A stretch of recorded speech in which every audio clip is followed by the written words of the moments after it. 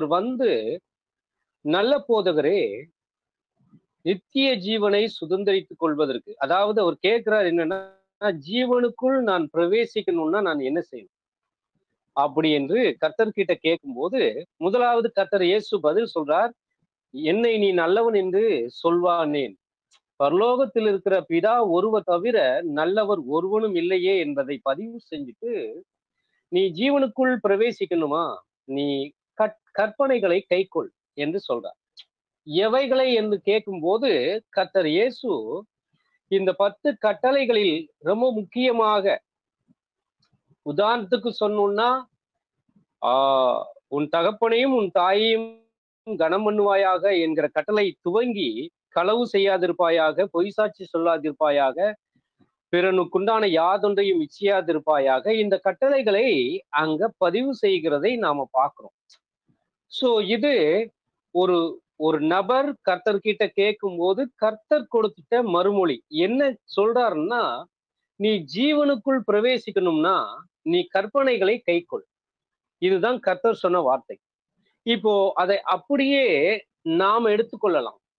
இப்போ நாம மகிமைக்குள் பிரவேசிக்கணும்னா அல்லது நாம் அழியாமையே சுதந்திரித்து கொள்ளணும்னா இந்த கட்டளைகள் வெளிப்படுத்தக்கூடிய கொள்கைகள் நம்முடைய வாழ்க்கையில அப்ளை ஆகணும். அப்ளை ஆயிடுச்சுன்னா நாம கண்டிப்பா நித்திய ஜீவனை அதாவது அழியாமையை சுதந்திரித்துக் கொள்வோம். சோ எனவே கர்த்தர் இயேசு இந்த கட்டளைகளை குறித்து அவர் ஒரே வார்த்தையில சொல்றார். ஏன் இஸ்ரேல் ஜனங்களுக்கு தேவன் பத்து கட்டளை மற்றும் மூவாயிரத்தி அறுநூறு பிரமாணங்கள் அடங்கின கட்டளைகளை கொடுப்பதனுடைய நோக்கம் என்ன? இவ்வளவு பிரமாணங்கள் இவ்வளவு கட்டளைகள் தேவன் கொடுத்ததினுடைய நோக்கம் என்ன என்பதை குறித்து கர்த்தர் நம்முடைய கர்த்தர் அவர் முதலாம் வருகையில வந்தபோது அன்பு அடிப்படையில அன்பு என்கிற அந்த குணலட்சணங்களில் இஸ்ரேல் ஜனங்கள் விருத்தியாகணும். அதுதான் சொல்லும்போது கர்த்தர் சொல்வார் உன் தேவனாகிய கர்த்தரிடத்தில் உன் முழு இருதயத்தோடும் முழு ஆத்மாவோடும் அன்பு கூறுவாயாக. உன்னிடத்தில் அன்பு கூறுவது போல பிறனிடத்திலும் அன்பு கூறுவாயாக. இந்த இரண்டு கட்டளைகளை ஒருவர் கை கொண்டா நியாயப்பிரமாணம் முழுவதையும் கை கொண்டதற்கு சமம் என்பதை கர்த்தர் இயேசு அங்க பேசினதை நாம பார்க்கிறோம். சோ அப்ப அன்பான சகோதர சகோதரிகளே பிரமாணம் கொடுக்கப்பட்டதினுடைய நோக்கம் அன்பு என்கிற குணலட்சணத்தில் இஸ்ரேல் ஜனங்கள் விருத்தியாகும். இப்போ இந்த கட்டளைகள் நமக்கு எப்படி அப்ளை ஆகுதுன்னா அந்த கட்டளைகள் அது இஸ்ரேல் ஜனங்களுக்கு கொடுக்கப்பட்டதுதான் மாற்று கருத்தே இல்லை. ஆனா அந்த கட்டளைகள் வெளிப்படுத்தக்கூடிய கொள்கைகள் நம்முடைய வாழ்க்கையில நாம் அன்பு என்கிற குணலட்சணத்தில் நாம் விருத்தியாவதற்காகவே இந்த கட்டளைகள் அங்க கொடுக்கப்பட்டது. ஏன்னா நமக்கு தெரியும். முதலாவது நம்ம நாம் அன்பு எந்த வகையில வெளிப்படுத்துவோம்னா கடமை அன்பு. ரெண்டாவது அந்த அன்பு கொஞ்சம் வளர்ச்சி அடையும் சகோதர அன்பு. மூன்றாவது நம்ம பார்க்கிறோம் அகாபே அன்பு. இந்த நிலைக்கு பரிசுத்தவான்கள் கடந்து வரணும். அதாவது சத்ருவையும் சிநேகிக்கிற அன்பு என்கிற நிலையை எட்டி பிடிப்பதற்காக தேவன் அநேக கட்டளைகளை அவருடைய வேதத்துல அங்க கொடுத்திருக்கிறார். அன்பான சகோதர சகோதரிகள் ஏன்னா வசனத்துல கத்தர் சொல்வார் அன்பு நியாய பிரமாணத்தின் நிறைவேறுதலாக இருக்கிறது.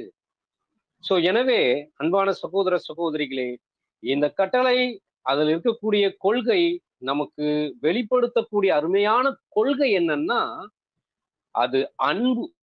அவ்வளவுதான். சோ இப்போ அந்த கட்டளைகளுக்குள்ளாக போய் ஒவ்வொரு கட்டளை அது என்ன கொள்கையை நமக்கு கற்றுத்தருது. அதுதான் இன்னைக்கு நாம கற்றுக்கொள்ளக்கூடிய பாடம். இந்த ஒட்டுமொத்த பத்து கட்டளைகள் வெளிப்படுத்தக்கூடிய கொள்கைகள் நம்முடைய வாழ்க்கையில காணப்பட்டது என்றால் பிரதர் சொல்றாரு கண்டிப்பாக நாம் ஜீவனுக்குள் பிரவேசிப்போம். ஒருவேளை நாம் ஜீவனுக்குள் பிரவேசிக்க முடியாதபடிக்கு தடையாக இருப்பது என்னன்னா இந்த கட்டளைகள் வெளிப்படுத்தக்கூடிய கொள்கைகள் நம்முடைய வாழ்க்கையில சரியான இடத்துல அப்ளை ஆகிறது இல்லை என்பதுதான் பொருள். எனவே அன்பான சகோதர சகோதரிகளே சகோதரர் சொல்லும்போது என்ன சொல்றாருன்னா தேவனுடைய பிரமாணங்கள் என்று நாம சொல்லி பேசும்போது ரொம்ப கேர்ஃபுல்லா இருக்கணும். இது சாதாரணமாக எண்ணிவிடக் கூடாது ஏன்னா நம் மனம் போன போக்குல ஏற்றுக்கொள்ளக்கூடாது. சோ இதுதான் இப்படித்தான் நம்ம எடுத்துக்கணும் அப்படின்லாம் நாம் மனம் போன போக்கில ஏற்றுக்கொள்ளவோ விட்டுவிடவோ கூடாது. நெக்ஸ்ட் நம்முடைய இருதயத்திற்கு ஏற்றவாறு எண்ணக்கூடாது. கீழ்ப்படிய வேண்டிய அவசியம் மேலோட்டமாக பார்த்து இதற்கு மட்டும்தான் நம்ம கீழ்ப்படியணும் என்று கூட எண்ணக்கூடாது. அப்போ அந்த கட்டளைகளுக்குள்ளாக நாம் கடந்து போய் அந்த கட்டளைகள் வெளிப்படுத்தக்கூடிய கொள்கைகள் நம்முடைய ஆவிக்குரிய ஜீவியம் முழுவதையும் அது கட்டி ஆக்கிரமிக்கணும். அதுதான் பிரதர் சொல்றார். அவ்வாறு நாம் ஆள ஒப்பு கொடுக்கும் போதுதான் தேவன் எதிர்பார்க்கிற வளர்ச்சி நம்முடைய வாழ்க்கையில கிடைக்க பெறும் அன்பான சகோதர சகோதரிகளே. அப்ப இந்த நாள்ல நாம தியானிக்க போகிற இந்த விஷயத்துல தேவனுடைய பிரமாணங்கள் தேவன் அந்த பிரமாணத்திற்கு பின்னாடி என்ன உண்மையை தேவன் வெளிப்படுத்துகிறார் என்பதே நாம் பார்க்க போகிற முக்கியமான விஷயம். அதாவது அந்த பத்து கட்டளைகளை நாம் ஆராய்ந்து பார்க்கும்போது நம்முடைய வாழ்க்கையில அதில் இருக்கக்கூடிய உண்மை அல்லது கொள்கை அல்லது நீதியை நாம் ஒவ்வொரு தருணங்களிலும் பிரதிபலிக்கணும். அதற்காக நிற்கணும். பிரதிபலிக்க போராடணும் நம்முடைய மரண பரியந்தமும். சோ இந்த கொள்கையை ஒரு நேரம் மாத்திரம் கடைபிடிச்சிட்டு காலப்போக்கில் விட்டுவிடக்கூடாது அல்லது காலப்போக்கில் நமக்கேற்ற விதத்துல அதை திருத்தி அமைத்துக் கொள்ளவும் கூடாது. சோ கொள்கை தேவனுடைய பிரின்சிபிள் என்று சொல்லும் பொழுது அதுதான் அவ்வளவுதான். அதுல அட்ஜஸ்ட்மெண்ட் கிடையவே கிடையாது அன்பான சகோதர சகோதரிகளே. எனவே பாடத்தை நீங்க நன்கு உற்று கவனிக்கும்படி உங்களிடத்துல அன்பாக கேட்டுக்கொள்கிறேன். முதல் கொள்கை அல்லது முதல் கட்டளையில் வெளிப்படக்கூடிய கொள்கை என்ன என்று நாம போய் பார்க்கும்போது வசனங்கள் நீங்க வாசிக்கலாம். யாத்ரகம் இருபதாம் அதிகாரம் மூன்றாம் வசனம் மற்றும் நான்காம் வசனம். முதலாவது வசனம் நமக்கு காண்பிக்குது. தேவன் சொல்றார் என்னை அன்றி உனக்கு வேறு தேவர்கள் உண்டாயிருக்க வேண்டாம். சோ அப்போ இந்த கட்டளை முதலாவது இந்த கட்டளையை நாம உற்று கவனிக்கும் போது தேவனை தவிர வேறொரு தேவனை இஸ்ரேல் ஜனங்கள் ஏற்படுத்தக்கூடாது. அவ்வளவுதான். அப்போ இதுல தேவன் வைத்திருக்கிற கொள்கை என்னன்னா ரெவரண்ட் அதாவது பயபக்தி தேவன் கிட்ட காணப்பட வேண்டும். அன்பான சகோதர சகோதரிகளே. சோ அப்போ முதல் கட்டளை தேவன் இஸ்ரேல் ஜனங்களிடம் எதிர்பார்த்த விஷயம் என்னன்னா அவரை தவிர வேறொரு தேவனை அவர்கள் உருவாக்கவே கூடாது. அப்படின்னா என்ன அர்த்தம்னா தேவன் கிட்ட பயபக்தியாக இருக்கணும். அதாவது பக்தி மட்டும் போகா போதாது அதுல பயமும் இருக்கணும். சோ பயபக்தி என்கிற கொள்கையை தேவன் இஸ்ரேல் ஜனங்கள் கிட்ட வெளிப்படுத்தும் விதமாகவே என்ன சொன்னார்னா என்னை அன்றி உனக்கு வேறு தேவர்கள் உண்டாயிருக்க வேண்டாம். சோ இந்த கொள்கையை நாம் பழைய ஏற்பாட்டுல தேவனுடைய மனுஷர்கள் கிட்ட நாம் போய் பார்க்கும்போது நீங்க சங்கீதம் நூற்று பதினொன்னு பத்து வாசிக்கலாம். கர்த்தருக்கு பயப்படுதலே ஞானத்தின் ஆரம்பம். அவருடைய கற்பனைகளின்படி செய்கிற யாவருக்கும் நற்புத்தி உண்டு. அவர் புகழ்ச்சி என்றென்றைக்கும் நிற்கும். ஆமா சோ கர்த்தருக்கு பயப்படுதலே ஞானத்தின் ஆரம்பம். சோ இந்த இடத்துல கர்த்தர் இந்த இடத்துல பிதாவாகிய தேவனுடைய பரிசுத்த நாமம் வருது. அப்போ தேவனுக்கு பயப்படுதல் தான் ஞானத்தினுடைய ஆரம்பம். The fear of the Lord is the beginning of knowledge என்று வருது. சோ அப்போ பாருங்க அப்போ தேவனுக்கு முதலாவது பய பக்தி காணப்படணும். பயம் என்று சொல்லும் பொழுது எப்படி நீங்க நம்ம இதை எப்படி நாம செயல் வடிவுல காண்பிக்கிறது? அப்படியே தேவ சமூகம்னு அப்படியே நடுங்கிக்கிட்டு அப்படியே கண் கலங்கிட்டு அப்படியா? இல்ல. சோ அதற்கே உரிய கணம் மதிப்பு தெரிஞ்சவர்களாக காணப்படணும் என்பதுதான்.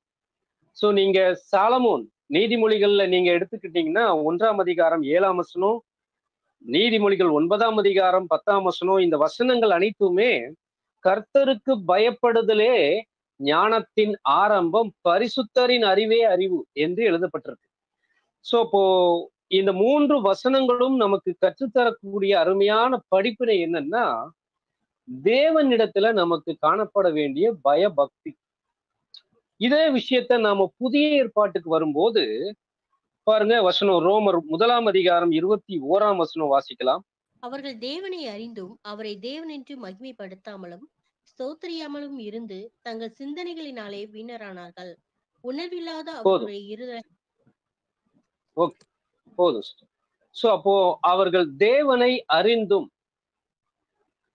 அவரை ஸ்தோத்தரியாமலும் மகிமைப்படுத்தாமலும் இருந்து தங்கள் செயல்களினாலே வீணரானாங்க.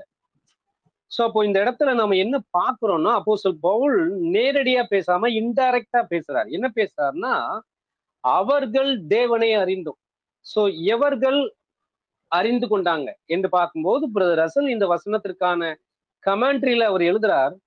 முற்பிதாக்கள் யுகம் யூத யுகம் சுவிசேஷ யுகம். இந்த மூன்று காலப்பகுதியில் வாழ்ந்திட்ட ஜனங்கள் தான் மெய் தேவனை அறிந்து கொண்ட ஜனங்கள் சோ அப்போ நம்ம புரிந்து கொள்ளணும். முற்பிதாக்கள் நம்ம பார்க்கிறோம். சேத்தின் காலத்துல இருந்தே நம்ம பார்க்கிறோம். கத்தருடைய நாமத்தை தொழுது கொள்ளுகிற வேலையானது நடைபெற்றுட்டு. விசேஷமா நாம கண்டுபிடிக்கிறோம். ஆபிரகாம் ஈசாக் யாக்கோபு மற்றும் இஸ்ரேல் ஜனங்கள். அவர்கள் கிட்ட வெளிப்பட்டுட்ட முற்பிதாக்கள். அதை தொடர்ந்து நாம பார்க்கிறோம். சுவிசேஷ யுகம். இன்னைக்கு கத்தர்கிட்ட ஒரு கான்சக்ரேஷன் ஒரு உடன்படிக்கை வாழ்க்கைக்குள்ளாக கடந்து வந்துட்ட நாம. இவர்கள் தான் தற்காலத்துல தேவனை அறிந்த ஜனங்கள். அன்பான சகோதர சகோதரிகளே ஆனா வசனம் என்ன சொல்லுதுன்னா அவர்கள் தேவனை அறிந்தும் ஸ்தோத்தறியாமலும் மகிமைப்படுத்தாமலும் இருந்து தங்கள் செய்கைகளினாலே வீணரானாங்க என்று சொல்லப்படுகிறதை நாம பார்க்கிறோம். அன்பான சகோதர சகோதரிகள். அப்போ முதலாவது தேவனை அறிந்து கொண்ட ஜனங்கள் இஸ்ரேல் ஜனங்கள். தேவனை மகிமைப்படுத்தல. முற்பிதாக்கள். ஒரு சில முற்பிதாக்கள் தான் தேவனுக்குரிய கனத்தை கொடுத்தாங்க. அதனாலதான் ஆப்ரகாம் ஈசாக்கு யாக்கோபு நெக்ஸ்ட் தாவீது பற்றி பேசுது. சோ அப்போ பாருங்க அப்போ ஒருவேளை இந்த இடத்துல தேவனை அறிந்த ஜனங்கள் தேவனை அங்க மகிமைப்படுத்தவில்லை. அப்ப இந்த சுவிசேஷ யுகத்தில் வாழக்கூடிய பரிசுத்தவான்களாகிய நம் மத்தியிலும் இந்த மிஸ்டேக் நடக்க வாய்ப்பு இருக்கு அன்பான சகோதர சகோதரிகளே. அப்ப நாம அவர்கள் தேவனை அறிந்தும் அவர்கள் என்பதுல நம்ம இந்த மூன்று யுகத்தின் வாழக்கூடிய ஜனங்களை நாம மேற்கோள் காண்பிக்கிறோம். அறிந்து என்று சொல்லும் போது இது எப்படி புரிந்து கொள்வது? அறிந்தும் என்று சொல்லும் பொழுது முதலாவது நாம பிதாவாகிய தேவன் சப்ஜெக்ட்ல அவரை பற்றி அறிந்து கொள்கிறோம். வசனங்களின் வாயிலாக. ஆனா இது முதல் ஸ்டெப் அன்பானவர்களே. ஆனா ரெண்டாவது ஸ்டெப் இருக்கு.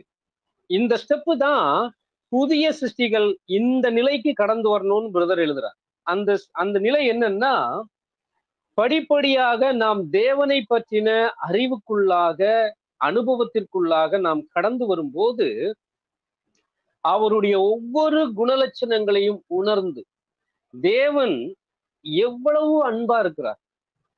அவர் எவ்வளவு நீதி உள்ளவராக இருக்கிறார்?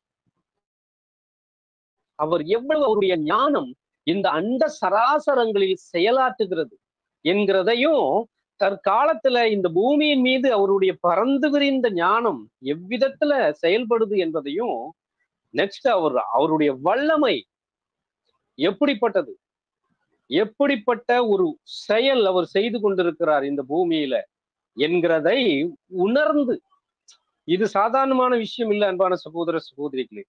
சோ உணர்ந்து என்பது இன்னைக்கு நம் வாழ்க்கையில இது அவசியமான ஒன்று. சோ உணர்ந்து பார்த்து நாம தேவனை மகிமைப்படுத்தணும் அன்பான சகோதர சகோதரிகளே.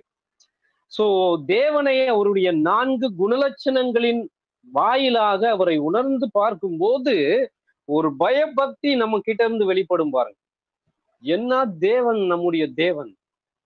இஸ்ரேல் ஜனங்களுக்கு கூட அவரை இந்த அளவுக்கு வெளிப்படுத்தல. இன்னைக்கு நாம அவரை பற்றி அறிந்திருக்கிறோம். என்பதை உணர்ந்து அவர் மீது நமக்கு வெளிப்பட வேண்டும். பயபக்தி அன்பான சகோதர சகோதரிகளே. ஆனா தேவனை பற்றின அறிவுக்குள்ளாக கடந்து வந்த பின்னாடி காலங்கள் அதிகமாகும் போது இந்த பயபக்தி அது காணாமல் போய் விடுகிறது அன்பான சகோதர சகோதரிகளே. ரொம்ப கேஷுவலா தேவ சமூகமா ரொம்ப கேஷுவலா இருக்கும். தேவனை துதிக்கிற நேரமா ரொம்ப கேஷுவலா டைமிங் எவ்வளவு வேணாலும் லேட்டா வருவோம். ஒரு பேர் சபைக்கு போகும்போது கொஞ்சம் சிந்திச்சு பாருங்க. ஒரு உபவாச கூட்டம் ஆறு மணிக்குன்னு ஒரு பாஸ்டர் சொன்னா நம்ம என்ன செய்வோம்? இல்ல ஆறரை மணி ஏழு மணி எட்டு மணி உபவாச கூட்டம் முடியிற ஜெபத்துக்கு போனா போதும். அப்படியா போவோம்? பாருங்க பெயர் சபையில இருக்கும்போது தேவன் கிட்ட இருந்துட்ட அந்த பய பக்தி உண்மை சத்தியத்திற்குள்ளாக வந்த பின்னாடி பிரதர் சொல்றாரு காணாமல் போகுது. ரொம்ப வேதனையான ஒரு விஷயம் அன்பானவர்களே. சோ அப்போ நம்முடைய வாழ்க்கையில தேவன் மீது பய பக்தி ரொம்ப முக்கியம். அதனாலதான் பிரசங்கி சொல்லும் போது நீ தேவாலயத்துக்கு போகும்போது உன் நடையை காத்துக்கொள். மூடர் பலியிடுகிறது போல பலியிடுகிறதை பார்க்கிலும் செவி கொடுக்கிறதே உத்தமம்னு எழுதுறாரு. சோ அப்ப பாருங்க நீங்க செவி கொடுக்கணும். தேவனுடைய வார்த்தை என்ன கட்டளை கொடுக்குது? என்ன கொள்கையை நமக்கு தேவன் வச்சிருக்கிறார்? அதற்கு நம்முடைய செவிகள் திறந்தே இருக்கணும். திறந்து இருக்கணும்னா திறந்து மட்டும் இருந்தா பத்துமா? நம்ம ஊர்ல ஒரு பழமொழி சொல்லுவாங்களா இந்த காத்துல வாங்கி இந்த காத்துல விட்டுறது. அப்படின்னா என்ன அர்த்தம்னா அதை மனதுல நிறுத்துறதே கிடையாது. அப்போ அன்பான சகோதர சகோதரிகளே அப்படிப்பட்ட ஜனங்களாக நாம் வளர்ச்சி அடைய கூடாது. ஏன்னா நாம ஜீவனுக்குள் பிரவேசிக்கணும்னு வந்திருக்கிறோம். முதலாவது தேவன் நம்ம கிட்ட எதிர்பார்க்கிற கொள்கை அவருக்குடைய நாமத்திற்கு நாம எந்த வகையில பயபக்தியாக இருக்கிறோம்? அவருக்கு நாம நம்முடைய இருதயத்துல உணர்ந்து எந்த அளவுக்கு நாம் கனம் கொடுக்கிறோம்? என்பதே முதலாவது நாம கற்றுக் கொடுக்கிற கற்றுக் கொடுக்கிற ஒரு கொள்கையாக இருக்கு. முதல் கட்டளையிலிருந்து கற்றுக்கொள்வோம் ஸோ இப்போ ரெண்டாவது கட்டளை யாத்திராகம் இருபதாம் அதிகாரம் நான்காம் வாசிக்கலாம்.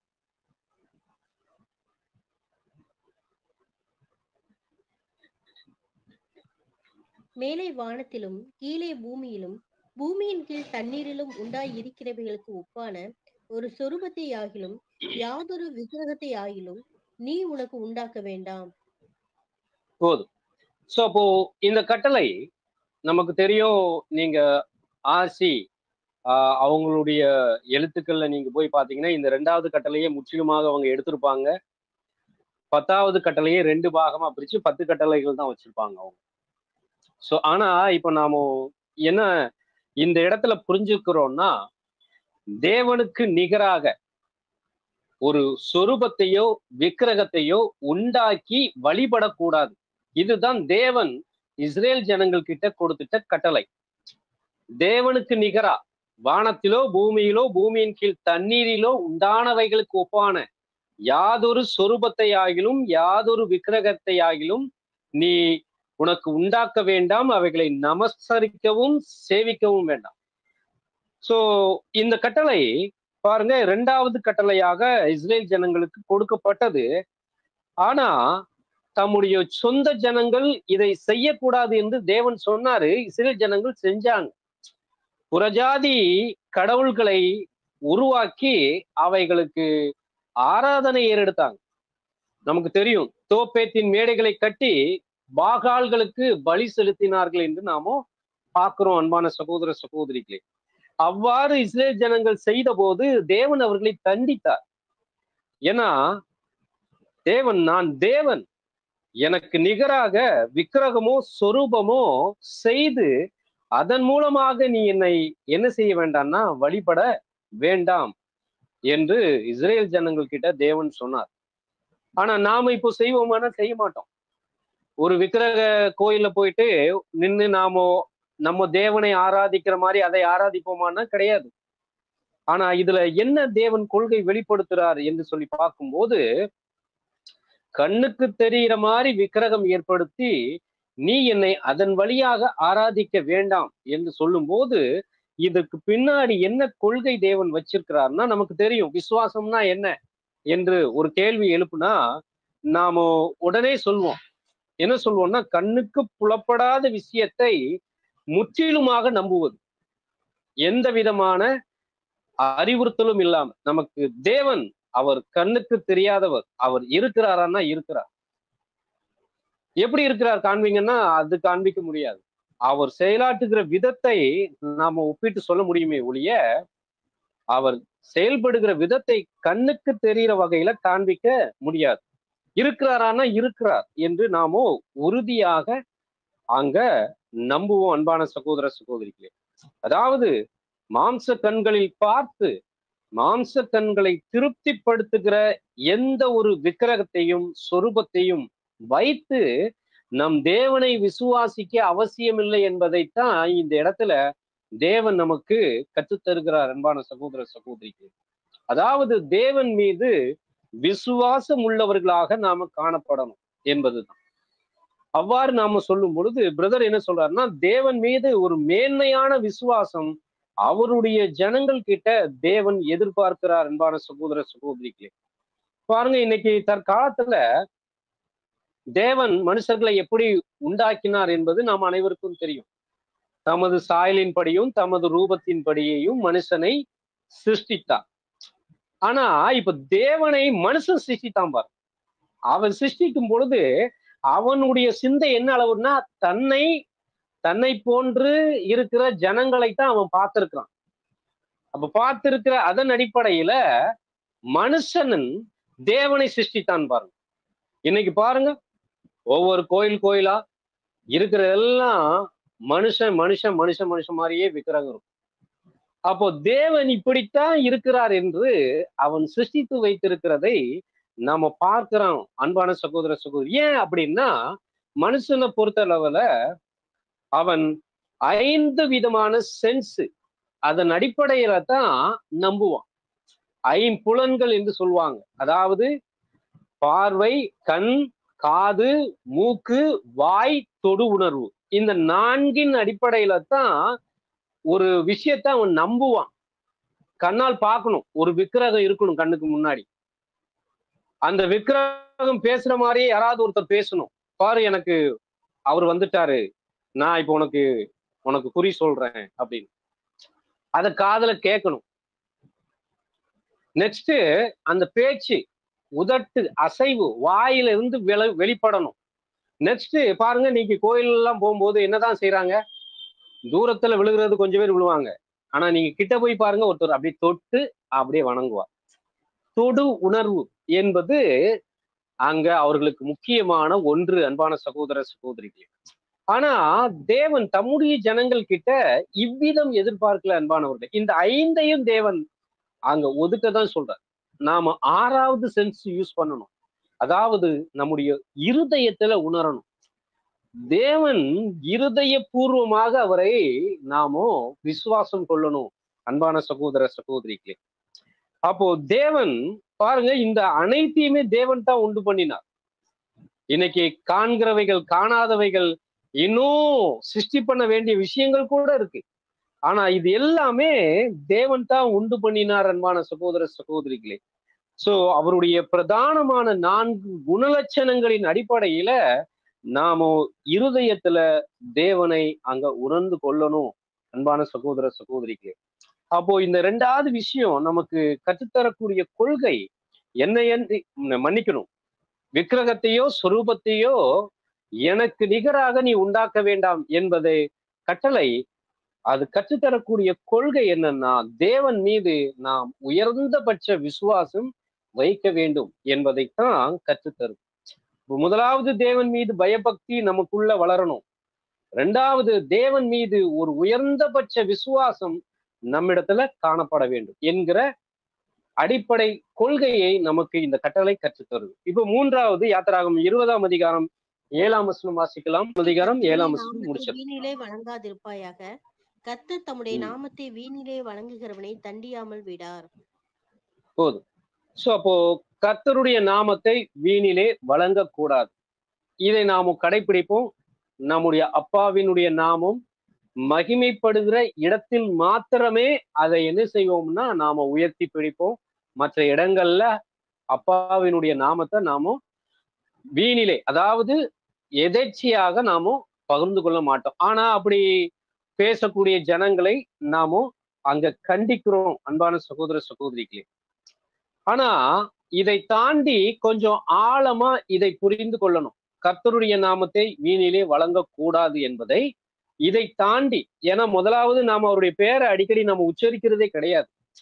ஆனா இதை தாண்டி தேவன் என்ன ஒரு கொள்கையை நமக்கு கற்றுத் தருகிறார் என்று பார்க்கும்போது முதலாவது இஸ்ரேல் ஜனங்கள் கிட்ட போய் நாம இதை பார்க்கணும். வசனம் வாசிங்க.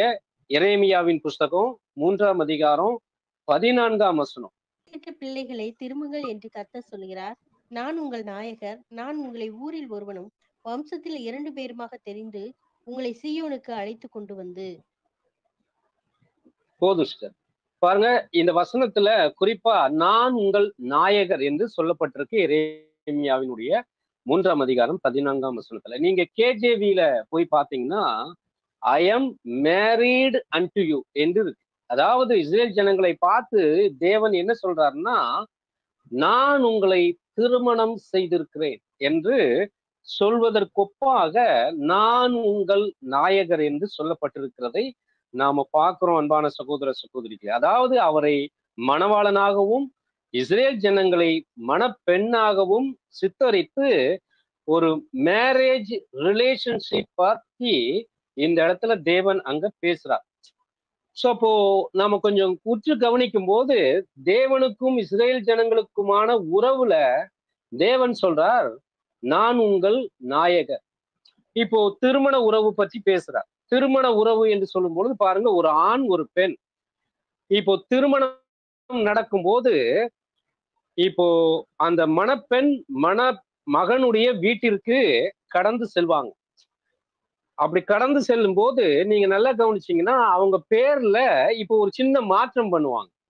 அதற்கு முன்னாடி வரைக்கும் அப்பாவினுடைய பெயரைத்தான் அவருடைய பேருக்கு பின்னாடி போட்டிருப்பாங்க. உதாரணத்துக்கு உதாரணத்துக்கு நான் இப்போ உங்கள்ட்ட ஒரு பேர் சொல்லணும்னா வசந்தி ஜேம்ஸ். இது ஒரு உதாரணத்துக்கு சொன்னேன் ஒரு பேருக்கு. அப்படின்னா அந்த ஜேம்ஸ் என்கிறவர் யாருன்னா இந்த பெண்ணுடைய தகப்பனார். ஆனா இப்போ அவருடைய இன்சியல் மாறும். அவங்க என்ன போடுவாங்கன்னா இப்போ அவர் மணவாளன் ஒரு ஜேக்கப் என்று வச்சு- வச்சுக்கொள்ளுங்க. இப்போ வசந்தி ஜேக்கப் என்று எழுதுவாங்க.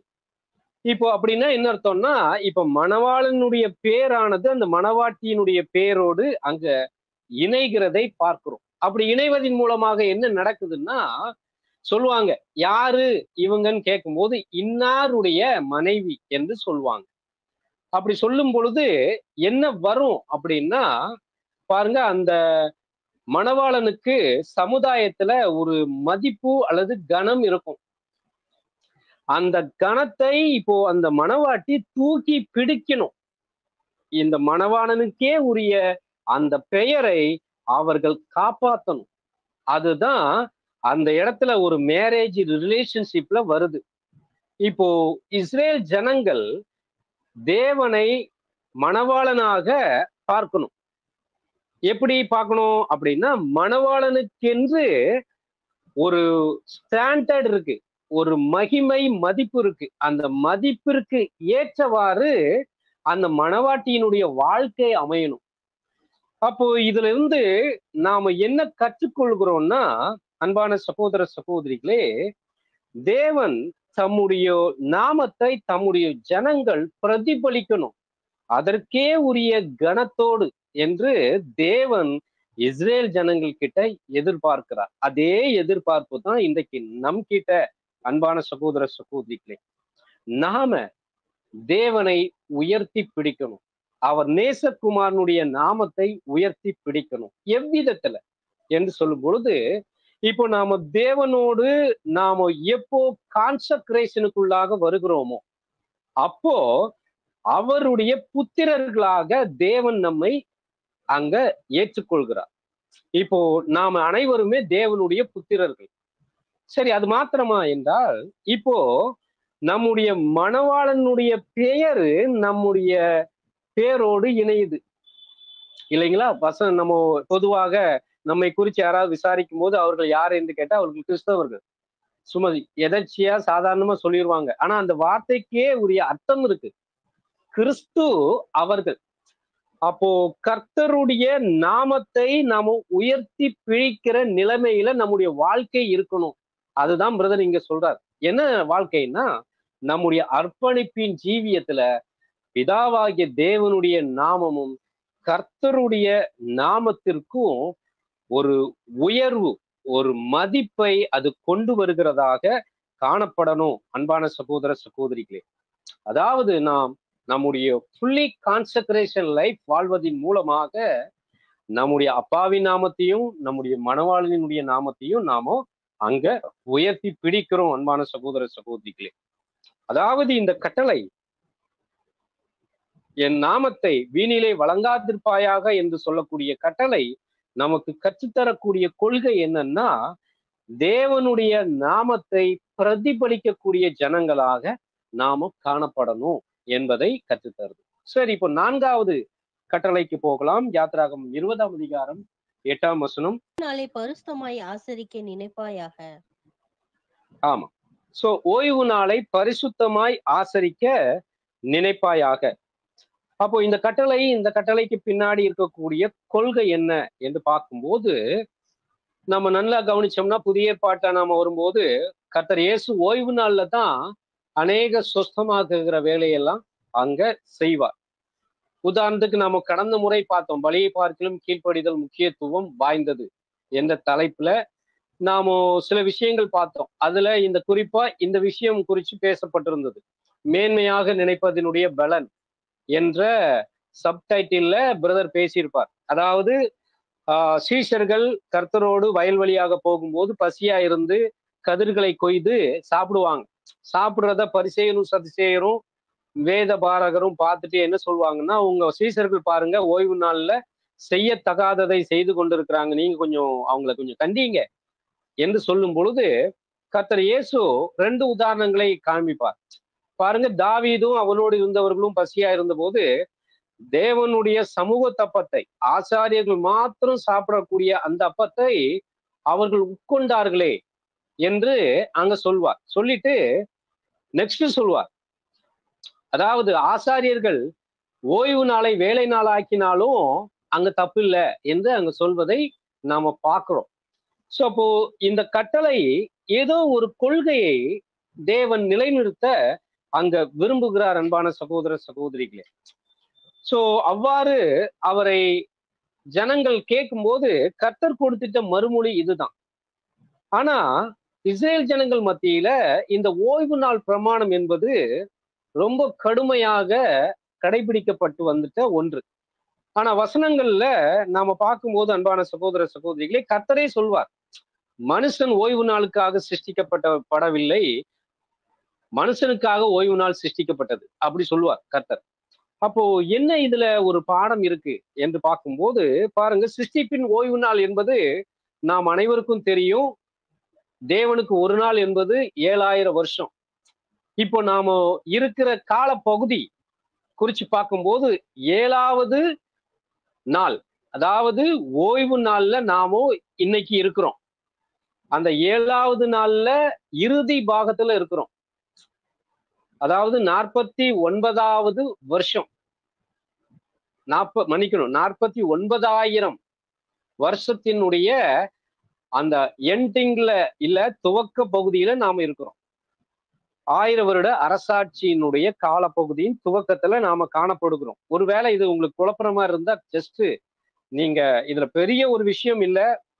ஆனா ஏன்னா இத எழுத்து வடிவுல நாம காண்பிக்க வேண்டியது இருக்கு. ஆனா ஏழாவது நாள் அது ஓய்வு நாளாக தேவன் நம்ம பார்க்கிறோம். சிருஷ்டிப்பின் நாள்ல நீங்க கவனிச்சு வந்தீங்கன்னா தேவன் ஏழாம் நாளில் ஓய்ந்திருந்தார் என்று அங்கு எழுதப்பட்டிருக்கிறதை நாம பார்க்கிறோம். தேவன் ஓய்ந்திருந்தார் என்று சொல்லும் பொழுது கிரைஸ்து கர்த்தரை குறித்து சொல்லும் போது வசனம் யோவான் ஐந்தாம் அதிகாரம் பதினேழாம் வசனம் வாசிக்கலாம். அவர்களை நோக்கி என் பிதா இதுவரைக்கும் கிரியை செய்து வருகிறார். நானும் கிரியை செய்து வருகிறேன் என்றார். போதும். அப்போ வசனம் நமக்கு என்ன சொல்லுது? என் பிதா இதுவரைக்கும் கிரியை செய்து வருகிறார். ஆனா வசனம் நம்ம படிக்கிறோம் ஏழாம் நாளில் கர்த்தர் ஓய்ந்திருந்தார். சோ அப்ப இதை எப்படி புரிந்து கொள்வது? ஏன்னா கர்த்தரே சொல்றார் என் பிதா கிரியை செய்து வருகிறார். இதுவரைக்கும் நானும் கிரியை செய்து வருகிறேன் என்று சொல்லும் பொழுது பாருங்க தேவன் ஓய்ந்திருக்கிறார் என்பது உண்மைதான். ஆனா தம் குமாரனின் மூலம் ஒரு விசேஷித்த கிரியையை தற்காலத்துல அங்க செய்கிறார் அன்பான சகோதர சகோதரிகளே. பிரதர் சொல்லும்போது த ஹை லெவல் கிரியேஷன் அதாவது புது சிருஷ்டியை உருவாக்கி கொண்டிருக்கிறார் அன்பான சகோதர சகோதரிகளே. ஆனா தேவன் ஓய்ந்திருக்கிறார். சோ அப்ப இதை எப்படி நாம புரிந்து கொள்வது என்று பார்க்கும்போது இதை குறிச்சு கத்தர் இயேசு அங்க பரிசெயர் சதுசேயருடைய வார்த்தைகளுக்கு மறுமொழி கொடுக்கும் விதமாக ஒரு வார்த்தை ஒரு ஊமை சொல்வார். அது வசனத்துல லூக்கா பத பதினான்காம் அதிகாரம் ஐந்தாம் வசனம் நீங்க வாசிக்கலாம்.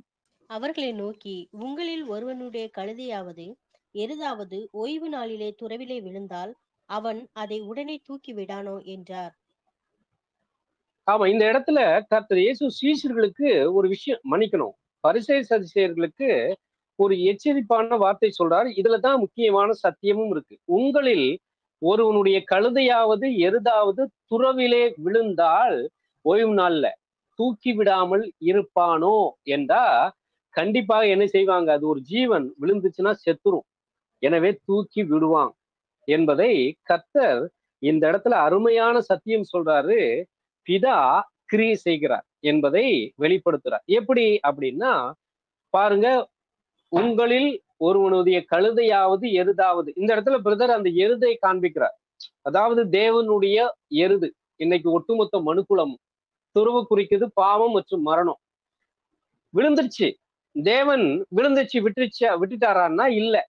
இன்னைக்கு மனுக்குலத்தை மீண்டுமாக தம் குமாரனை கொடுத்து தூக்கி விடக்கூடிய வேலையை தேவன் அங்க செய்து கொண்டிருக்கிறார். எனவே தான் கர்த்தர் சொன்னார் என் பிதா கிரியை செய்து கொண்டிருக்கிறார் நானும் கிரியை செய்து கொண்டிருக்கிறேன். சோ அப்போ பிதா பாருங்க வேலை செய்கிறார். இரண்டு வகையில ஒன்று புதிய சிருஷ்டியை அவர் உருவாக்கி கொண்டிருக்கிறார். இரண்டாவது விழுந்து போன மனுக்குலத்தை தூக்கி ஜீவனுக்கு நேராக கொண்டு வரக்கூடிய வேலையும் செய்து கொண்டிருக்கிறார். எனவே தான் பிதாவாகிய தேவனும் கர்த்தரும் ஓய்வு நாள்ல தான் என்ன செய்கிறாங்கன்னா கிரியை செய்து கொண்டிருக்கிறாங்க. எனவே தான் அங்க பரிசெயர் சதுசெயர்களுக்கு சொன்னார் நீங்க உங்களுடைய எருதாவது கழுதையாவது துறவுல விருந்துச்சுன்னா ஓய்வு நாள்ல தூக்கி விடாம இருப்பீங்களா? அப்படின்னு கேட்கிறார். அப்போ இதுல என்ன வெளிப்படுது கொள்கை என்று சொல்லி பார்க்கும்போது ஒரு சுயநலமற்ற தன்மை தம்முடைய ஜனங்கள் கிட்ட வெளிப்படணும் என்பது தான் தேவன் எதிர்பார்க்கிற ஒரு கொள்கையாக இருக்கு அன்பான சகோதர சகோதரிகளே. இதை புரிந்து கொள்ளணும்னா பழைய ஏற்பாட்டுல இந்த ஓய்வு நாளை குறித்து தேவன் சொல்லிட்ட அருமையான வார்த்தை தம்முடைய தீர்க்கதரிசி மூலமாக. அதை வாசிக்கும் போது இப்ப நான் சொன்ன பாத்தீங்களா சுயநலமற்ற தன்மை வெளிப்படணும் என்பது புரிந்து கொள்ளலாம். வசனம் வாசிக்கலாம். ஏசாய ஐம்பத்தி எட்டு பதிமூணு நாளாகிய ஓய்வு நாளிலே உனக்கு இஷ்டமானதை செய்யாதபடி உன் காலை விலக்கி உன் வழிகளின்படி நடவாமலும் உனக்கு இஷ்டமானதை செய்யாமலும் உன் சொந்த பேச்சு பேசாமலும் இருந்து ஓய்வு நாளை மனமகிழ்ச்சி நாள் என்றும் பரிசுத்த நாளை மகிமையுள்ள நாள் என்றும் சொல்லி அதை மகிமையாக எண்ணுவாயானால் பதிமூணாம் வசனத்துல வசனம் என்ன சொல்லுதுன்னா என் பரிசுத்த நாளாகிய ஓய்வு நாளிலே உனக்கு இஷ்டமா உனக்கு இஷ்டமானதை செய்யாதபடி உன் காலை விலக்கி உன் வழிகளின்படி நடவாமலும் உனக்கு இஷ்டமானதை செய்யாமலும் உன் சொந்த பேச்சை பேயா பேசாமலும் இருந்து. அப்போ இதுல என்ன வெளிப்படுதுன்னா பாருங்க சுயத்தை முற்றிலுமாக புறக்கணிச்சிரு. தேவ சித்தத்தை மாத்திரமே நீ செய்யணும். சொந்த சிந்தையின்படி நீ நடக்காது. உன் காலை வசனம் சொல்லுது உன் காலை விலக்கி என்று அப்படின்னா உன்னுடைய சொந்த செயல் உன்னுடைய விருப்பமான எண்ணக்கூடிய இடத்துக்கு போறது இந்த விஷயங்கள் எல்லாத்தையுமே நீ விட்டுட்டு தேவனுடைய நாளை மனமகிழ்ச்சி நாள் என்று எண்ணி அதை ஆசரிக்கணும். அப்படின்னா சுயத்தை முற்றிலுமாக புறக்கணிக்கணும். என்பது தான் இந்த இடத்துல தேவன் இஸ்ரேல் ஜனங்கள் கிட்ட எதிர்பார்த்த ஓய்வு நாள் பிரமாணம். ஆனா என்ன செஞ்சிட்டாங்கன்னா முற்றிலுமா சுயத்தை தான் அவங்க மேலோங்க செஞ்சிட்டாங்க. எனவே தான் கர்த்தர் அதை கண்டிக்கும் விதமாக பாருங்க சுயநலத்தை முற்றிலுமாக எடுத்து போடுங்க. உங்களுடைய கழுதை உங்களுடைய எருது. பாருங்க சீஷர்கள் பயிர்கள் பசியா இருக்கிறாங்க. வயல்வெளியில போறாங்க. பசியில சாப்பிடுறாங்க. அத ஒரு பெரிய விஷயமாக நீங்க என்னாதீங்க ஏன்னா அது தேவை அந்த நேரத்துக்கு. அதுல சுயநலத்தை நீங்க கொண்டு வராதீங்க என்று கர்த்தர் அங்க கடிந்து கொண்டதை நாம பார்க்கிறோம் அன்பான சகோதர சகோதரிகளே. அப்போ புதிய சிருஷ்டிகளாக நமக்கு வரும்போது இதுல என்ன நாம புரிந்து கொள்ளணும்னா புதிய சிருஷ்டிகளாக நாமோ டெம்பரவரியா ஓய்ந்திருக்கிறோம். இந்த மாம்ச சரீரத்துல தற்காலத்துல நமக்கு பெர்மனன்ட் ஓய்வு இருக்கு. நம்முடைய முதலாம் உயிர்த்தெழுதலுக்கு பின்பு அன்பான சகோதர சகோதரிகளே. அப்போ தேவனுக்கு உரியவர்களாக நாம தற்காலத்துல ஜீவிக்கணும்னா சுயத்தை முற்றிலுமாக புறக்கணிக்கணும். சுயநலத்தை வேரோட எடுத்து தூரப்படணும். அவ்வாறு இருப்பதை இருப்பதைத்தான் தேவன் தற்காலத்துல விரும்புகிறார் ஓய்வு நாளை பரிசுத்த நாளாக ஆசரிப்பீர்களாக? எந்த வகையிலன்னா சுயநலமற்ற தன்மையை நாம் வெளிப்படுத்துவதின் மூலமாக அன்பான சகோதர சகோதரிகளே. அப்போ இந்த நாலு கட்டளைகளும் தேவனுக்கும் மனுஷருக்கும் இடையில் இருக்கக்கூடிய உறவை பலப்படுத்தக்கூடிய கட்டளைகளாக அது காணப்படுது அன்பான சகோதர சகோதரிகளே. இதற்கு பின்னாடி வரக்கூடிய ஆறு கட்டளைகளும் மனுஷனுக்கும் மனுஷனுக்கும் இடையில் இருக்கக்கூடிய உறவை பலப்படுத்தக்கூடிய கட்டளைகளாக காணப்படுது. முதல் நான்கு தேவனுக்கும் மனுஷருக்கும் இடையில் இருக்கக்கூடிய உறவு. அதை பலப்படுத்தக்கூடிய கட்டளைகள். பின்பு வரக்கூடிய ஆறு கட்டளைகளும் மனுஷனுக்கும் மனுஷனுக்கும் அதாவது சக புதிய சிஷ்டிகளுக்கு இடையில் இருக்கக்கூடிய உறவை பலப்படுத்தி சீர்படுத்தி தேவனுக்கு உகந்தவர்களாக ஜீவிப்பதற்கு நம்மை வழிநடத்தக்கூடிய கட்டளைகளாக அதில் இருக்கக்கூடிய கொள்கைகள் காணப்படுது அன்பான சகோதர சகோதரிகளே. நேரம் குறைவாக இருப்பதினால நான் இந்த கட்டளைகளுக்குள்ளாக ரொம்ப வேகமாக நாமும் ஆஹ் பகிர்ந்து கொள்ள நாம விரும்புகிறோம். எனவே நீங்க கொஞ்சம் கவனத்தோடு இதை கவனித்தால் நலமாக இருக்கும். இப்போ யாத்திராகும் இருபதாம் அதிகாரம் பனிரெண்டாம் வசனம் நீங்க வாசிக்கலாம். கத்தர் உனக்கு கொடுக்கிற தேசத்திலே உன் நாட்கள் நீடித்திருப்பதற்கு உன் தகப்பனையும் உன் தாயையும் கனம் பண்ணுவாயாக? ஆமா. சோ தேவன் கொடுக்கிற தேசத்துல அவர்களுடைய ஆயுசு நாட்கள் நீடித்திருப்பணும்னா அவங்களுடைய தகப்பனையும் தாயையும் அவர்கள் கனம் பண்ணணும். இது இஸ்ரேல் ஜனங்களுக்கு தேவன் கொடுத்துட்ட கட்டளை. ஆனா இந்த கட்டளைக்கு பின்னாடி இருக்கக்கூடிய கொள்கை என்னன்னா ரெஸ்பெக்ட் ஃபார் ஏஜ் அதாவது வயதை மதிக்க கத்துக்கணும்.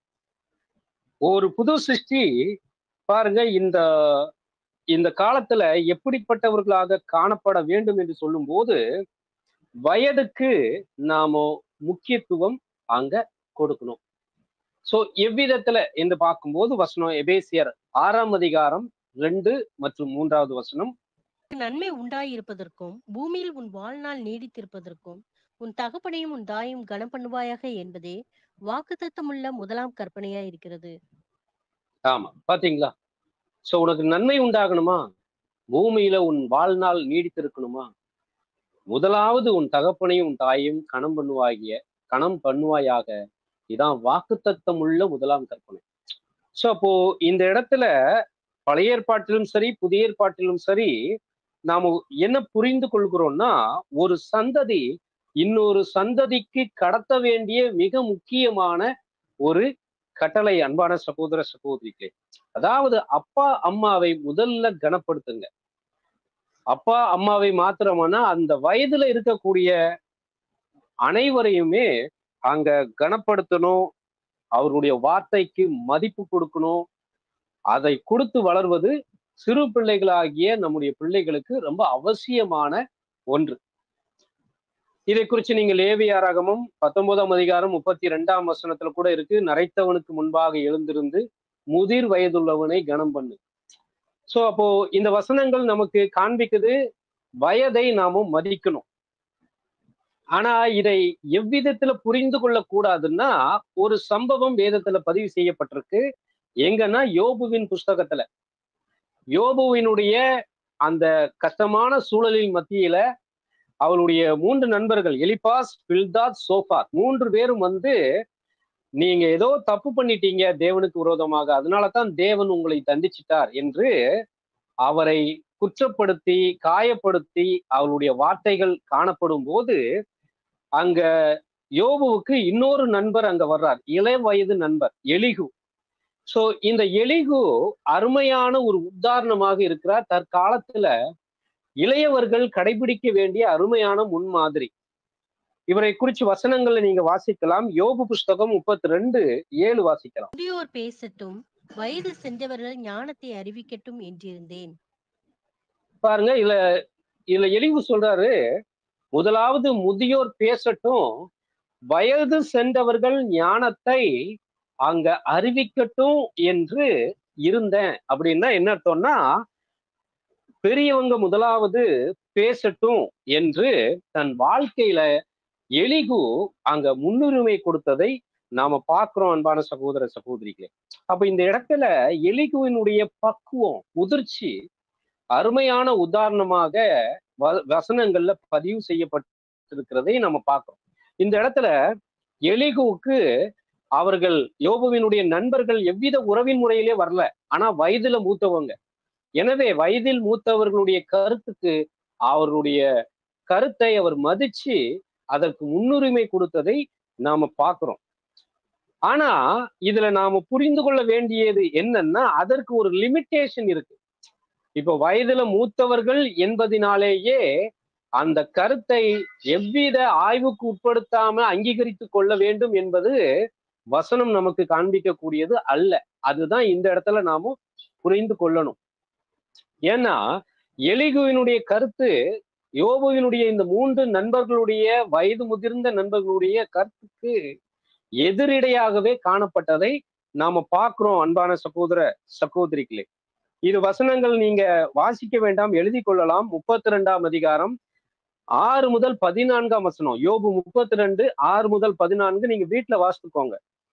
ஏன்னா அதுல யோ அங்க எலிகு சொல்றார் நான் முதியவங்க பேசட்டும் வயது சென்றவர்கள் ஞானத்தை அறிவிக்கட்டும்னு காத்திருந்தேன்.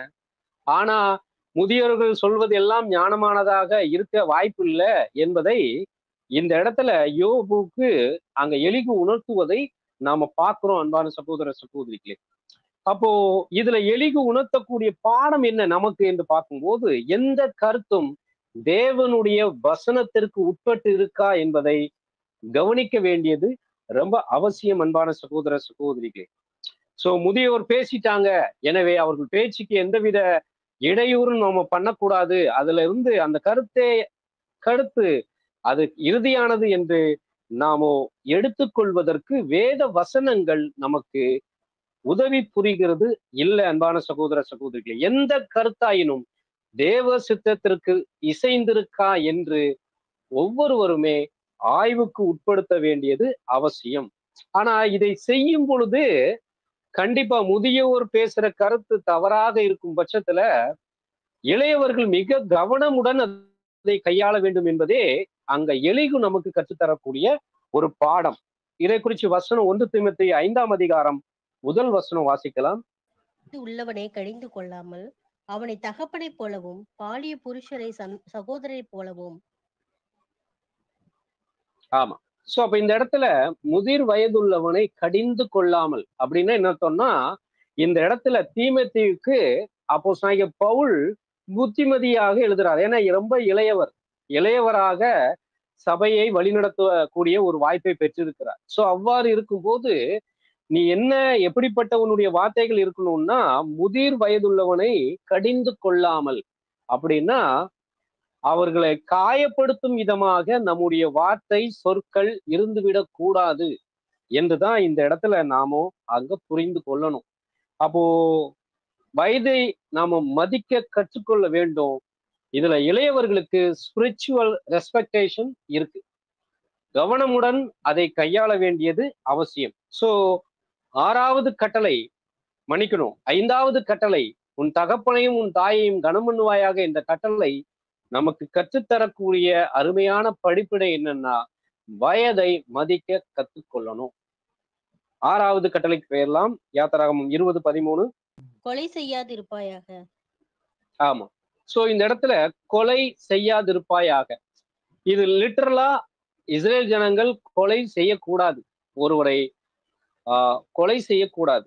ஆனா கர்த்தர் இயேசு இந்த கட்டளையை இப்போ சுவிசேஷ யுகத்தின் பரிசுத்தவான்களுக்கு விளக்கி சொல்லும் போது அவர் என்ன சொல்றாருன்னா மத்திய ஐந்தாம் அதிகாரம் இருபத்தி ஒன்னு இருபத்தி ரெண்டு வாசிக்கலாம்.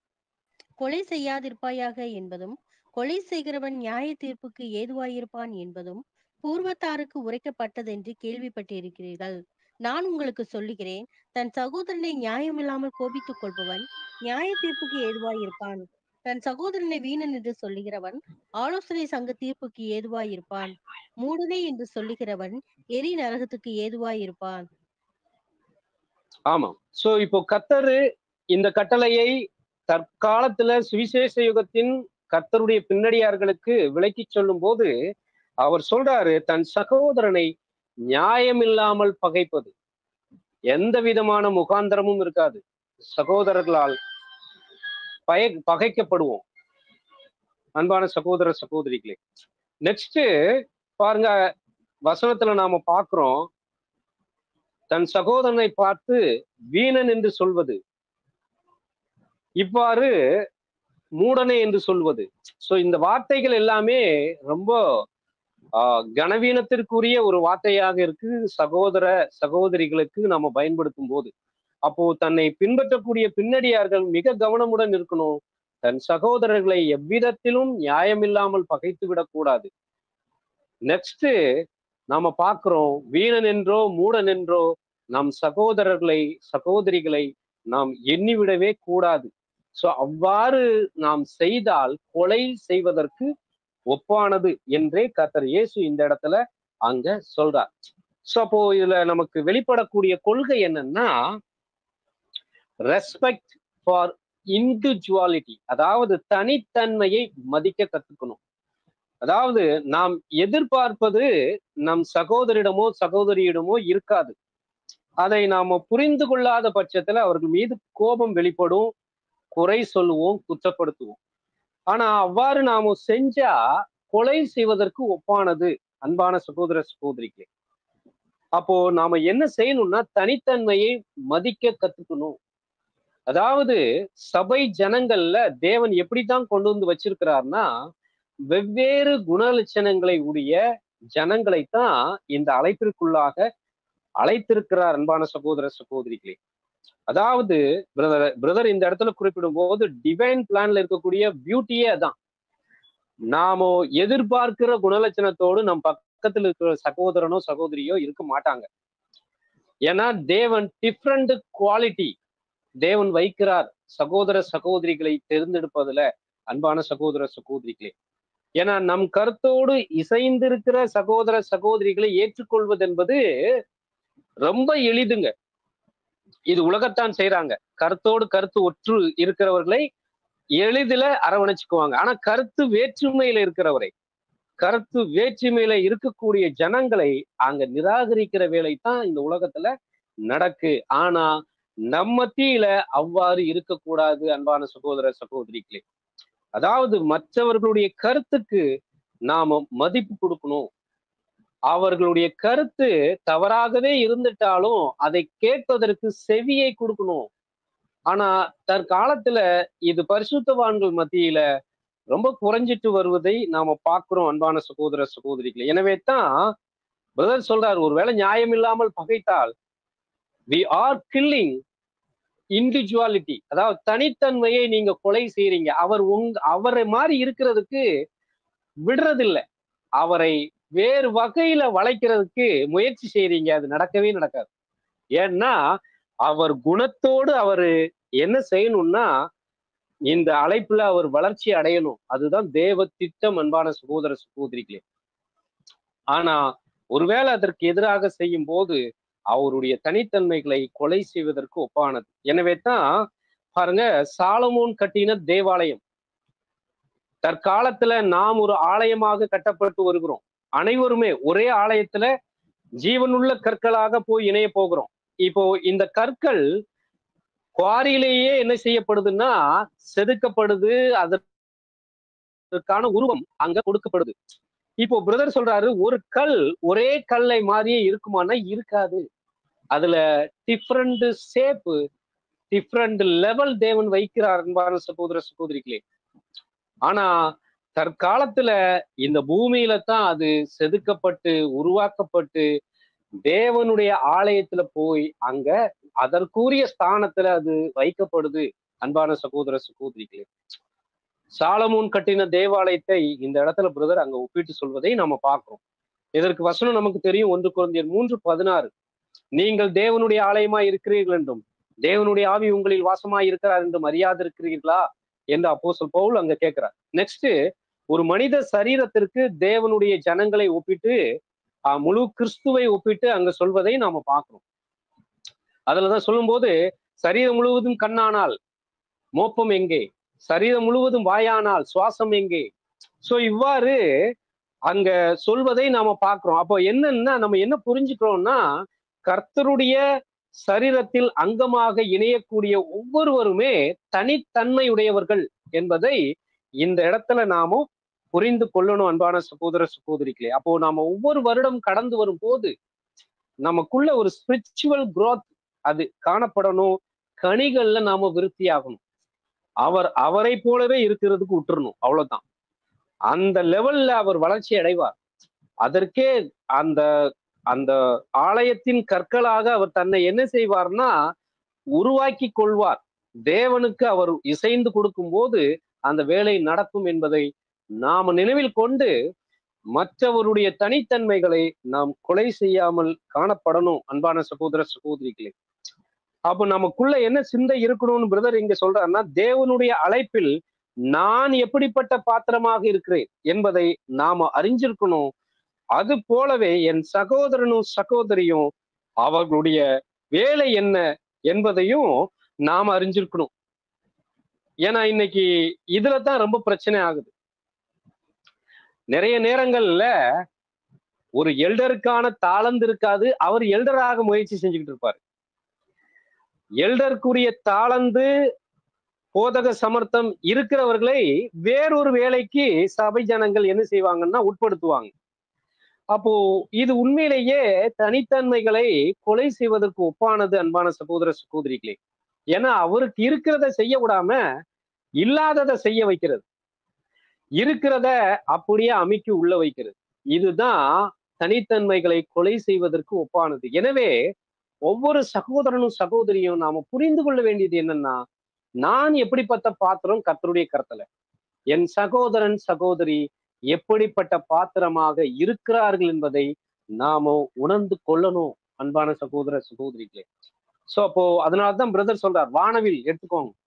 வானவில்ல நிறங்கள் எல்லாமே ஒரே நிறமா இருக்கா? அப்படின்னா இல்ல. வெவ்வேறு நிறங்கள் இணைந்ததுதான் ஒரு வானவில். எனவே அன்பான சகோதர சகோதரிகளே இந்த கட்டளையில் நாம் பார்க்கக்கூடிய கொள்கை என்னன்னா தனித்தன்மையை மதிக்க கத்துக்கணும். இது ஆறாவது கட்டளை ஏழாவது கட்டளைக்கு பேரலாம். யாத்திராகம் இருபது பதினான்கு. விபச்சாரம் செய்யாதிருப்பாயாக. ஆமா. சோ விபச்சாரம் செய்யாதிருப்பாயாக நேரடியா தேவன் இஸ்ரேல் ஜனங்கள் கிட்ட சொன்ன ஒன்று. சோ விபச்சாரம் என்று சொல்லும்போது திருமணத்துக்கு பின்பு செய்யக்கூடிய தவறு. சோ ஏன்னா திருமண ஒப்பந்தம் இருக்கு. எல்லாம் நம்ம அந்த ஒப்பந்தம் நமக்கு தெரியும். வாழ்விலும் தாழ்விலும் மரணம் பிரிக்கிற வரையிலும் உங்களை நான் பிரிய மாட்டேன் என்பது மனைவி சொல்வது கணவன் சொல்வது. இரண்டு பேருமே ஒரு ஒப்பந்தத்தின் அடிப்படையில திருமண வாழ்க்கைக்குள்ளாக அங்க கடந்து போறாங்க. அப்போ இந்த இடத்துல விபச்சாரம் செய்வது ஒப்பந்தத்தை மீறுவதற்கு ஒப்பானது. அப்போ இதுல தேவன் கற்றுத்தரக்கூடிய கொள்கை என்னன்னா ரெஸ்பெக்ட் ஃபார் கான்ட்ராக்ட் அதாவது உடன்படிக்கையை அங்க ஒப்பந்தத்தை மதிக்க கத்துக்கணும் அன்பான சகோதர சகோதரிகளே.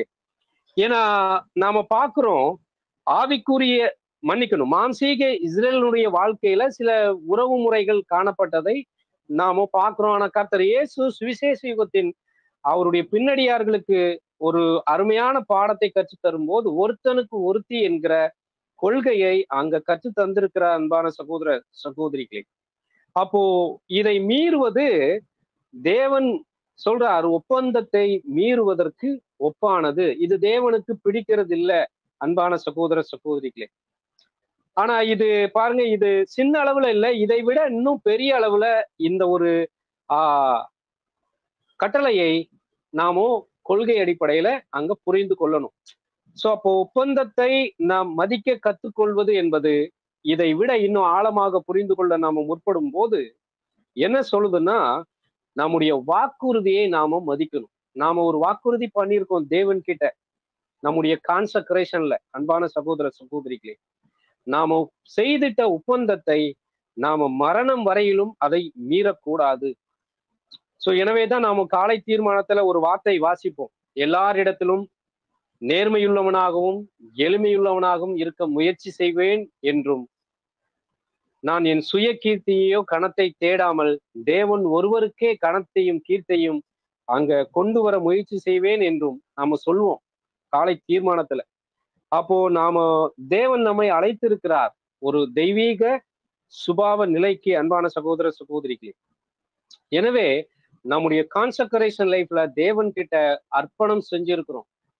உடன்படிக்கை செஞ்சிருக்கிறோம். அந்த உடன்படிக்கை மரண பரியந்தம் நாம நிறைவேற்றணும்.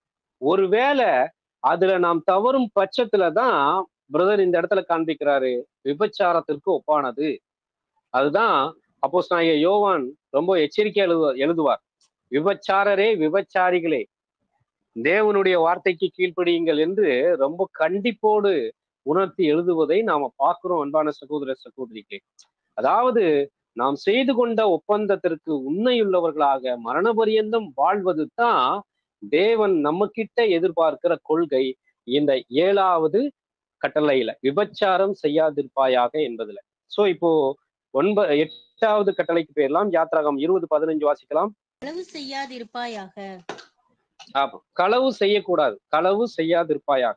இதுல வெளிப்படக்கூடிய கொள்கை என்னன்னா ரெஸ்பெக்ட் ஃபார் ப்ராப்பர்ட்டி அதாவது மற்றவர்களுடைய உடைமையை மதிப்பது.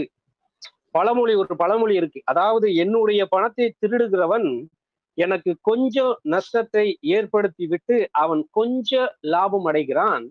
என்னுடைய நல்ல பெயரை திருடுகிறவன் என்னை என்னிடத்துல இருக்கக்கூடிய எல்லாவற்றையும் கொள்ளையடித்து விட்டு அவனுக்கு ஒன்றுமில்லாமல் போகிறான். சோ அப்போ களவு செய்யாதிருப்பாயாக என்பது மற்றவனுடைய உடமையை திருடுவது மாத்திரம் அல்ல இங்க நமக்கு கற்றுத்தரக்கூடியது என்னன்னா சில நேரங்கள்ல சில சகோதர சகோதரனுடைய நல்ல பெயரை திருடுவோம். எப்படின்னா தீமை பேசுதல் மூலமாக புறம் பேசுதல் மூலமாக. இது கேஷுவலா நடக்கும். சில நேரங்கள்ல வஞ்சனையாக கூட நடக்கும் அன்பான சகோதர சகோதரிகளே. அது மாத்திரமல்ல மற்றவர்களுடைய நேரத்தை விரயம் செய்வது. இது கூட பிரதர் சொல்றாரு கொலை செய்யாதிருப்பாயா? மன்னிக்கணும். களவு செய்கிறதுக்கு ஒப்பானது என்று பிரதர் அங்க சொல்வதை நாம பார்க்கிறோம் அன்பான சகோதர சகோதரிகளே. அப்போ ரொம்ப பெற்றுக்கொள்வதற்கு போராட வேண்டிய ஒரு குணலட்சணம் அன்பான சகோதர சகோதரிகளே. அதாவது இது பெற்றுக்கொள்ள தாமதப்படக்கூடிய ஒரு விஷயமாக கூட இருக்கு. இது அறியாமை பலவீனம். சில நேரங்கள்ல அறிந்தும் கீழ்ப்படியாமல் போவதின் மூலமாக இந்த விஷயங்கள் அங்க நடைபெறுவதை நாம பார்க்கிறோம். புதிய சிருஷ்டிகள் இதுல ரொம்ப கேர்ஃபுல்லா இருக்கணும்னு பிரதர் அங்க சொல்றார். அப்போ இந்த எட்டாவது கட்டளை நமக்கு கற்றுத்தரக்கூடிய பாடம் என்னன்னா மற்றவருடைய உடமையை மதிப்பது. அவருடைய நல்ல பெயரை ஒருபோதும் நாம திருடிவிடக் கூடாது. மிக கவனமுடன் கையாள வேண்டிய ஒன்றாக அது இருக்கு அன்பான சகோதர சகோதரிகளே. ஒன்பதாவது கட்டளைக்கு கடந்து போயலாம். யாத்திராகம் இருபது பதினாறு. இருபது பதினாறு. ஆமா. பொய் சாட்சி சொல்லாதிருப்பாயாக சோ அப்போ பொய் புதிய சிருஷ்டிகள் வாழ்க்கையில அருவறுக்கப்பட வேண்டிய ஒன்று அன்பான சகோதர சகோதரிகளே. ஏன்னா பாருங்க இன்னைக்கு பூமியில கோர்ட் நடக்கு. அங்க நீதியரசர் இருப்பாங்க. ஜட்ஜ்மெண்ட் சொல்றது. ஆனா வந்து நிக்கிறது பொய் சாட்சியா உண்மை சாட்சியான்னு அவங்க கண்டுபிடிக்கிறதுக்கே ரொம்ப கஷ்டமாயிரும். ஏன்னா உண்மை போல பொய் சொல்லிக்கிட்டு இருப்பார். அப்போ பாருங்க இதுல நமக்கு கற்றுக்கொள்ளக்கூடிய கொள்கை என்னன்னா உண்மையை மதிக்கணும். சோ நமக்கு அருமையா உதாரணம் நாம பாஸ் ஓவர் ஸ்டடீஸ்ல நம்ம பா- பார்ப்போம். பகை மற்றும் வெறுப்பு என்கிற தலைப்புல. தேவனுடைய ஜனங்கள் மத்தியில ஏன் அன்பு குறையுது என்று சொல்லும் பொழுது ஒருவரோடு ஒருவர் உண்மை பேசுறது இல்ல கொலோசியர் மூன்றாம் அதிகாரத்துல நீங்க படிச்சீங்கன்னா இதை குறிச்சு அங்க அப்போஸ் நாய்க்க பவுல் பேசுவார். ஒருவர் ஒருவர் பொய் சொல்லாதிருங்கள்.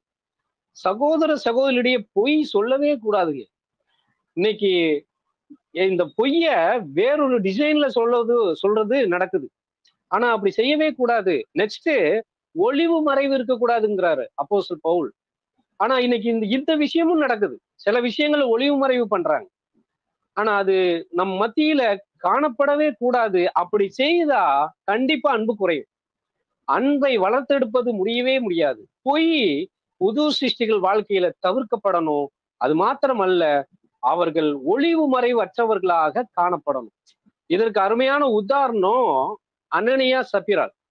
பாக்குறோம் பவு அப்போஸ்தலர் பேதுரு மற்றும் ஜனங்கள் மத்தியில தங்களுடைய சொத்தை வித்துட்டு ஒரு கிரயத்தை எடுத்து வச்சுட்டு உன்னை கொண்டு வந்து வச்சுட்டு இவ்வளவுதான் எங்க சொத்துன்னு சொல்லி பரிசுத்த ஆவிக்கு விரோதமாக பொய் சொன்னாங்க.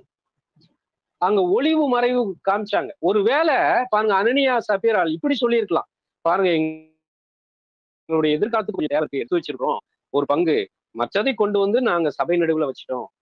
நீங்க தயவு கூர்ந்து இதை ஏற்றுக்கொள்ளணும். இந்த விதத்துல அவர்கள் சொல்லி இருந்தா பொய் சொல்லல ஒளிவு மறைவற்ற தன்மையை வெளிப்படுத்தி இருப்பாங்க அவர்கள் மீது தண்டனை வந்திருக்கார்.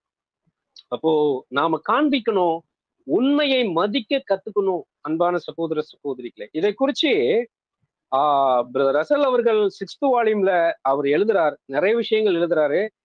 எந்த வசனத்துக்கு மேற்கோள் காண்பிச்சுன்னா மத்திய பதினெட்டு பதினஞ்சு முதல் பதினேழு வரை உள்ள வசன பகுதியில புது சிருஷ்டியின் வாழ்க்கையில எதையுமே ஆராய்ந்து பார்க்காம நாமும் குற்றம் சாட்டக்கூடாது. அது மாத்திரமல்ல அதுல சில கடை நடைமுறையை கடைபிடிக்கணும். ஒருவர் தவறு செஞ்சுட்டா எனக்கு விரோதமாக அவர்கிட்டயே போயிட்டு நான் இந்த வகையில உங்களால பாதிக்கப்பட்டிருக்கேன்னு சொல்லணும். அவரு ஏற்றுக்கொள்ள மறுக்கிறார்னா இரண்டு மூன்று சாட்சிகள் மூலமாக காரியங்கள் நிலைவர பண்ணணும். அப்பவும் அவர் ஒத்துக்கல அதுக்கு எதிராக அவர் நிலைப்பாட்டுல உறுதியா இருக்கிறாருன்னா சபை நடுவுல கொண்டு வரணும். சபை சொல்லியும் அவர் ஏற்றுக்கொள்ளலன்னா இப்போ அவர் வந்துட்டு உங்களுக்கு ஆயக்காரனை போலவும் அஞ்ஞானியை போலவும் இருக்க கடவுள் என்று கர்த்தர் சொல்றாரு. ஆனா இந்த நடைமுறை தற்காலத்துல பரிசுத்தவான்கள் மத்தியில கடைபிடிப்பதே இல்லை. நேரடியா கொண்டு போய் சபையில வச்சிருவாங்க. அவருக்கு அவர் செய்தது அந்த நோக்கத்துல செஞ்சிருப்பாரான்னு கூட தெரியாது. அல்லது மற்ற சகோதர சகோதரி கிட்ட பாஸ் பண்ணிடுவாங்க இப்போ அவரு உண்மை வேற ஒரு விதத்துல இருக்கும்போது அவரை குறிச்சு எல்லாம் போயிடும் சுத்தி போயிடும் இப்ப அவரை குறிச்சு எல்லாரும் ஒரு எண்ணத்துல வந்துருவாங்க. இப்ப உண்மை தெரிஞ்சாதான் என்ன உண்மை தெரியாட்டாதான் என்ன? அந்த சூழலுக்கு ஆயிரும் அவருடைய நிலைமை. பாருங்க இதுல புது சிருஷ்டிகள் ரொம்ப கவனமாக இருக்கணும். ஏன்னா மற்றவர்களை நாம குற்றப்படுத்தும் போது அது நியாயமா இருக்கணும். அது அவரிடம் நாம முதலாவது எடுத்து கூற வேண்டியது அவசியம். ஆனா இதை நீங்க எப்படி புரிஞ்சுக்க கூடாதுன்னா சில நேரங்கள்ல சபையினுடைய விஷயத்துல எல்லை மீறுவாங்க ஒருத்தர். இப்போ சபை நடுவுல தான் அதை சொல்லி ஆகணும் இந்த விஷயத்துல அப்படின்னு. ஆனா அதை விட்டுட்டு தனி நபராக நாம் பாதிக்கப்படும் போது நாம இப்போ அவர்கிட்ட பேச வேண்டியது. சபையே பாதிக்கப்படுதுன்னா அது சபை நட நடுவுல தான் பேசணும். உபதேச ரீதியில. இது ரொம்ப கவனமாக கவனிக்க வேண்டிய ஒன்று அன்பான சகோதர சகோதரிகளே. அப்போ பாருங்க நாம இதுல உண்மையை மதிக்க கத்துக்கணும் என்பது ஒன்பதாவது கட்டையில நாம் கற்றுக்கொள்ளக்கூடிய பாடம். இறுதியான கட்டளைக்கு நாம பெயரலாம். யாத்திராகம் இருபது பதினேழு. வீட்டை இச்சியாதிருப்பாயாக. பிறனுடைய மனைவியையும் அவனுடைய வேலைக்காரனையும் அவனுடைய வேலைக்காரியையும் அவனுடைய எருதையும் அவனுடைய கழுதையையும் பின்னும் பிறனுக்குள்ள யாதொன்றையும் இச்சியாதிருப்பாயாக என்றார். ஆம். இந்த இடத்துல பிறனுன்று பிறனுக்குண்டான யாதொன்றையும் இச்சியாதிருப்பாயாக என்பது தான் இந்த இடத்துல நாம கற்றுக்கொள்ளக்கூடிய கட்டளை. ஆனா இதற்கு பின்னாடி இருக்கக்கூடிய கொள்கை என்ன என்று பார்க்கும்போது அன்பான சகோதர சகோதரிகளே நம்ம ரெண்டு பாகமா பிரிச்சிருக்கிறோம். முதல் நாளும் கட்டளையும் தேவனுக்கும் மனுஷருக்கும் இடையில் இருக்கக்கூடிய உறவை அங்க சீர்படுத்தக்கூடிய கட்டளைகள். ரெண்டாவது இருக்கக்கூடிய ஆறு கட்டளைகளும் சக மனிதர்கள் கிட்ட நாம கடைபிடிக்க வேண்டிய கட்டளை. அதுல இறுதியான கட்டளை என்னன்னா நம்முடைய சிந்தையில இதை சரி செய்ய வேண்டிய ஒரு கட்டளை. மற்ற அனைத்துமே கிரியையில. முத ஆறுல இருந்து மன்னிக்கணும் அஞ்சுல இருந்து ஒன்பது வரைக்கும் நம்முடைய கிரியையில நாம சரி செய்து கொள்ள வேண்டிய கட்டளைகள். அதுல இருக்கக்கூடிய கொள்கைகள். ஆனா இந்த பத்தாவது கட்டளை இது சிந்தையில சரி செய்ய வேண்டிய ஒரு கட்டளை அடங்கின கொள்கை அன்பான சகோதர சகோதரிகளே.